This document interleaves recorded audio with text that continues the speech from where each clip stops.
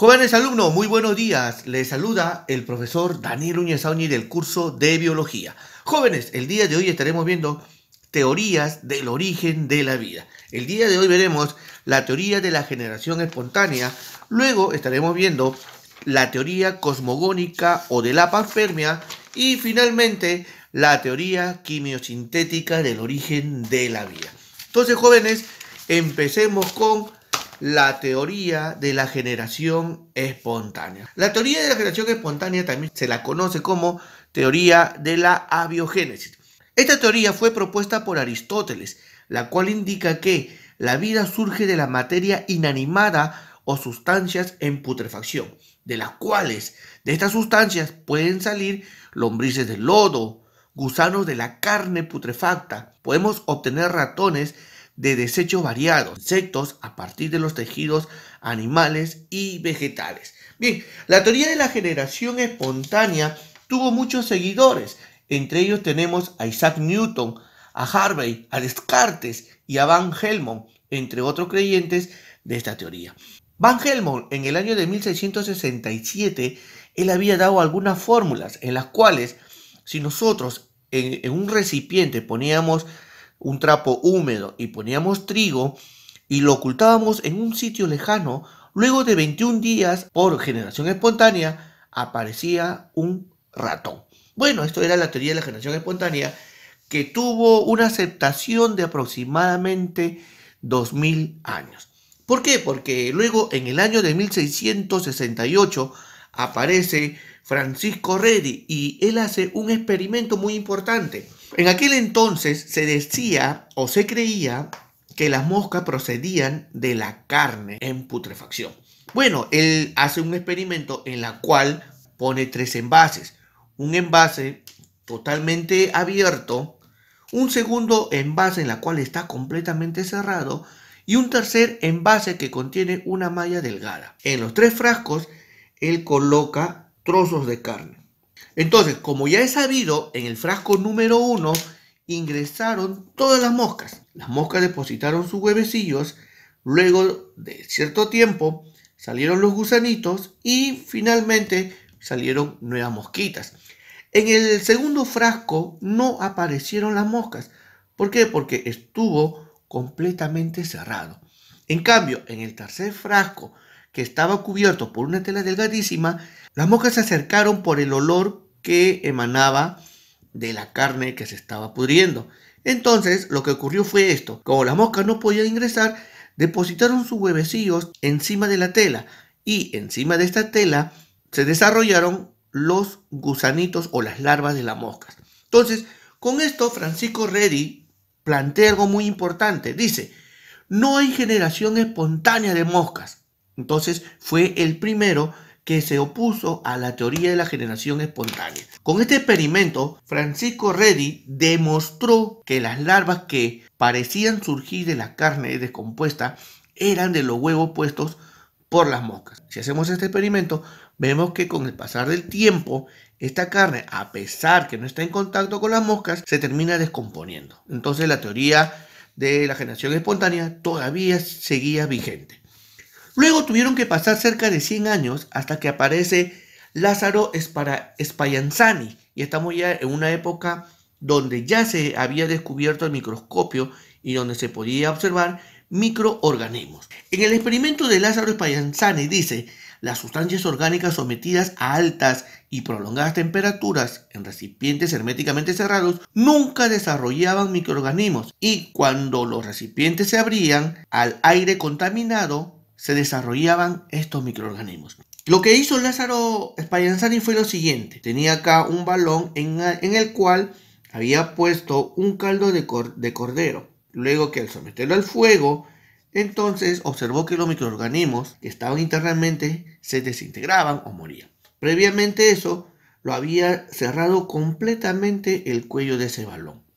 Luego de que esta sustancia, este caldo que tenía el cuello cerrado, era abierto, entonces se observaba al microscopio. Entonces no había microorganismos. Los de la generación espontánea decían que no, para que esto sea verificable, tiene que estar abierto. Entonces era un gran dilema para el momento. Pero aparece en el año de 1880 Lois o Luis Pasteur, quien refuta de manera absoluta la teoría de la generación espontánea, manteniendo las condiciones que ellos pedían, es decir, crear un frasco que esté completamente abierto. Lo que hizo Louis Pasteur fue crear un recipiente en la cual tenía una curvatura, al cual se le denominó matraz cuello de cisne. ¿Qué es lo que ocurrió acá? Puso un cultivo, el cual lo sometió al fuego. También acá en el cuello, en el cuello de este matraz, observamos agua. Esta porción de agua sirve como filtro para que no ingresen microorganismos que están en el ambiente. Con este experimento, Luis Pasteur demostró definitivamente de que la teoría de la generación espontánea estaba completamente errado. Entonces, el aporte de Pasteur fue que refutó de manera absoluta la teoría de la generación espontánea. Luego vamos a tener otra teoría, ya en el año de 1908, la teoría cosmogónica o la teoría de la panspermia. Esta teoría fue propuesta por Arrhenius, el cual dice que la vida llegó a la Tierra en forma de esporas y bacterias provenientes del espacio exterior, que a su vez se desprendieron de un planeta en el que existía. Bueno, según la teoría de Arrhenius, dice que existe un planeta o existe un planeta en la cual había gran actividad volcánica y estos residuos fueron expulsados al espacio y de una u otra manera llegaron al planeta con esporas o bacterias que luego poblaron el planeta Tierra. Y ahí luego por cuestiones evolutivas de bacterias que son células procariotas evolucionaron a células eucariotas. Pero esta teoría, esta teoría eh, no cumple ciertas reglas importantes, lo que se llama inconsistencia a la teoría de la cosmogonia o de la panspermia. La primera inconsistencia es la siguiente. Dice que las condiciones del medio interestelar, o sea, del universo, son poco favorables para la supervivencia de cualquier forma de vida. Entonces, probablemente no se dé vida en, en otra parte del espacio.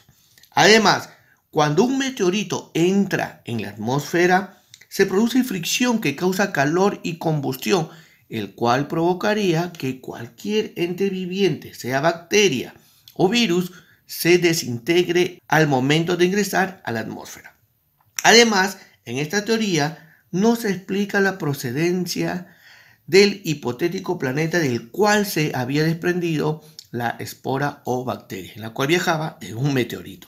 Y por otro lado, también se podría agregar de que el impacto que, causó este meteorito al llegar al planeta Tierra también liberó energía, la cual pudo desintegrar cualquier forma de vida. Bueno, esta es la teoría de la panspermia, en la cual lo propone Arrhenius.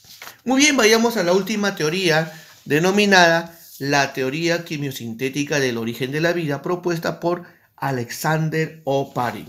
Alexander Oparin propone condiciones para que surja la vida.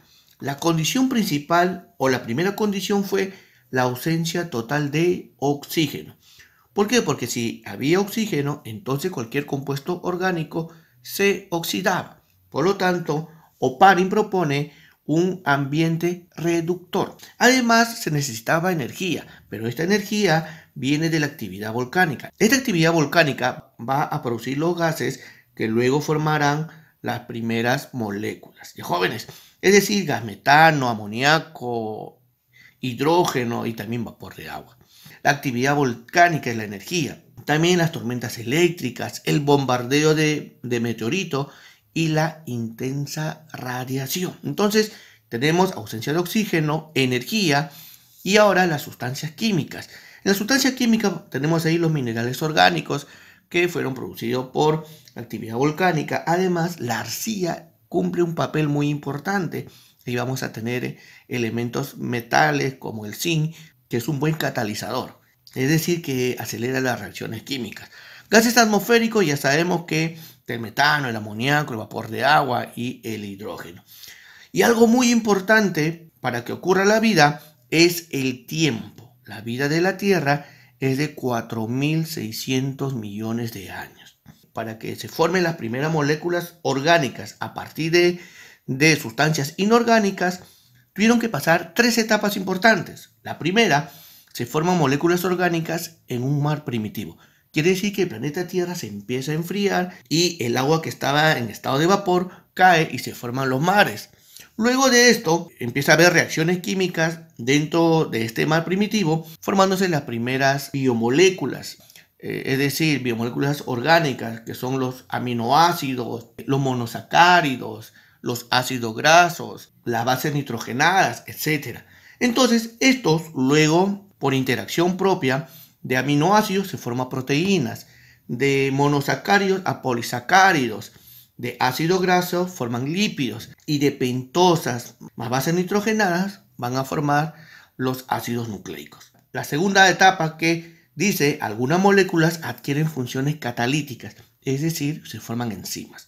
Y luego aparecen organizaciones moleculares con la capacidad de autorregularse. Se va a formar la primera estructura celular, la membrana celular, en la cual ya se va a hacer, eh, se va a formar una especie de vida en la cual ya se va a autorregular. Ya no es un metabolismo completo, pero al menos algo parecido, a la cual eh, Oparin lo denomina coacervados. Estamos observando que empieza a haber el primer ácido nucleico, es decir, un ARN, según esta teoría, un ARN que, se va a sintetizar y va a formar una proteína. Muy bien.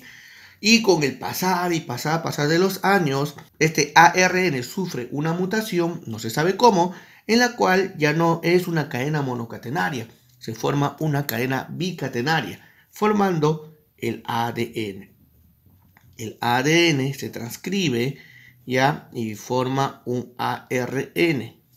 Y este ARN va a generar qué cosa? Una proteína. Y esto aparece hace aproximadamente 3800 3800 millones de años. Surge la primera procariota heterotrofa y a la vez es anaerobia, es decir, todavía no había oxígeno. Por algún proceso biológico ya se forma la primera procariota autótrofa. Y al ser autótrofa entonces va a liberar oxígeno, va a empezar a oxigenar el planeta Tierra. Y entonces tenemos la primera procariota autótrofa pero y a la vez es aerobia. En este proceso esta bacteria empieza a realizar la fotosíntesis. La fotosíntesis viene a ser el proceso en el cual el planeta Tierra se oxigena, se forma la capa de ozono, impide que la radiación dañe a otros microorganismos y por, y por un proceso de endosimbiosis se forma, se forma la primera célula eucariota. ¿ya? De procariota evoluciona a eucariota.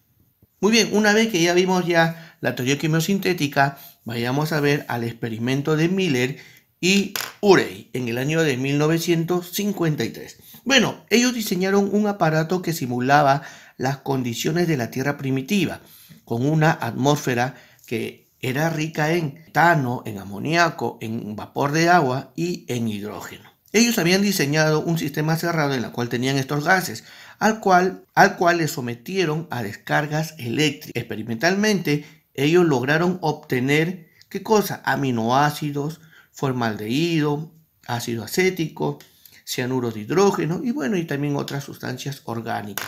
Quiere decir que experimentalmente obtuvieron de, de sustancias inorgánicas, obtuvieron sustancias orgánicas. Pero ¿por qué no, no, no pudieron obtener conservados? Es que era imposible, pues. ¿Por qué? Porque faltaba la otra condicional para la vida, el cual es el tiempo. Entonces se obtuvo eh, pequeños monómeros. Los monómeros vienen a ser cadenas cortas de unidades moleculares. ¿Ya, jóvenes?